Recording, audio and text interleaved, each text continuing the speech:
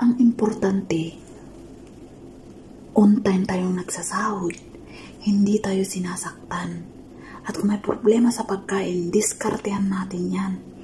Gamitin natin ang utak natin. Huwag tayong lipat ng lipat. Baka yung lilipatan, mas lalo. Isa akin dito, may problema nga sa pagkain. At least ako ang bahalang nagluluto ng pagkain ko. Nakakaluto ako kung anong gusto kong luto. Kasi ako ang nagluluto ng pagkain ko. So, kulang man, ang laman ng freezer, diskarte. Kahit 10 dinar ka mo na lang gastusin ko sa pagkain ko sa isang buwan, okay na at least yun, maibili ko naman yun sa gusto kong ulamin or kainin yun. Meron naman dyan ang manok. Diskarte lang tayo mga bebe. Good morning everyone. Welcome back to my channel. Today is Monday, December 6. So, update tayo. Today is fasting na naman ang aking alagang matanda. So, wala akong ginagawa. Naisipan ko na naman mag-video na kahit nang ganito. Makipag-chika lang sa inyo. At, kasi ilang days na wala naman akong upload. Kasi nga, fasting ang aking alaga. So, wala akong ginagawa uh, until 4 ako magluluto ng pagkain niya. So, ayun. Nagupo-upo lang ako dito. Tapos na akong naglinis kanina pang alas 7 ako natapos. So, ayun. Anong oras na ngayon? 12 na pala. Kasi, ang ginawa ko lang, nagluto lang ako ng rice. White rice ng driver. So, yun. Binigay ko na. Past 12 na mga 12, 10 or 5 binigay ko. So, yun. Wala na akong gagawin hanggang 4. So, yun. Mga 4.20 mag mag-start na akong mag magkwan magluto ng pagkain ng alaga ko kasi mga 5 ganun magkain na siya so ayan ang update lang natin ngayon I'm still okay dito sa bahay na to so 2 days pa magsasahod na ako. Mag 1 month ako sa 8 dito sa bahay na to. So kagabi natadry yung lips ko kasi. Lagyan natin ng Vaseline. Kasi parang wala akong pang lips na Vaseline. Yun lang. Kasi malamig dito malamig na. Yung nasira na yung kamay ko. Tingnan nyo yung yung mga finger ko ba? May allergy kasi ako. Makati yan na makati. So ito lang nilalagay ko. Vaseline. Alam nyo yung nagka-crack? Kikita nyo nagka-crack siya ba? Sobrang kati pero nag-iinom ako ng cetirizine nagbaon ako ng cetirizine isang box ang baon kong cetirizine kaya hindi ko masyado feel yung kwan kati niya pero pag nag-in-start kong in-scratch na ganyan hmm, ramdam ko pa rin yung kati niya so ayun So, magdidesisyon ako na mag one month ako sa 8. Okay. I'm okay pa rin. So, discarte lang. Uh, ganun pa man, may nalaman na ako na pagkain talaga ang magiging problema ko dito. Na kahit sabihin ng matanda na uh, magluto ako lang dito, na kahit sabihin niyang ganun, meron man maluluto na. Pero ang meron lang dyan, manok. Kailangan araw-araw na manok. Yun. So, kailan, kailangan talaga magbili ako ng ibang pagkain ko. Yun. Kasi, niisip ko naman, baka mas lalo pa sa ibang bahay kung lilipat pa ako. Wala naman akong problema dito. Yun lang. Uh, kulang sa pondo pag sa pagkain. Lo, rice. Wala mang problema sa rice. Il, araw-araw ako nagluluto ng rice. Na white rice.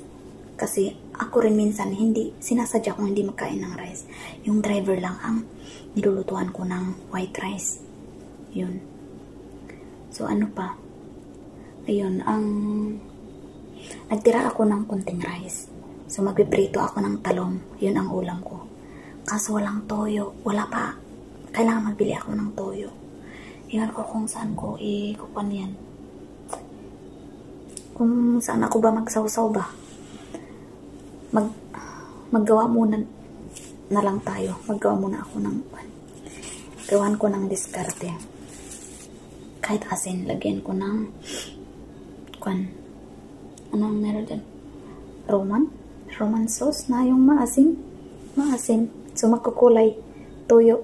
Roman Roman sauce at saka lagyan ko ng asin. So,